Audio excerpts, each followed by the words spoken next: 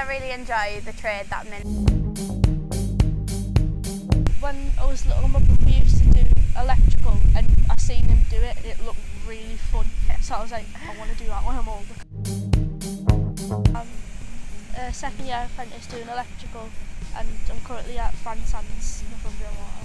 And I'm currently a first year learner at TTE studying electrical. Uh, at Northumbrian Water we've just started and the, whole placement should take us to the end of the apprenticeship and throughout all we should learn all the things you need and further experience from the people that work here.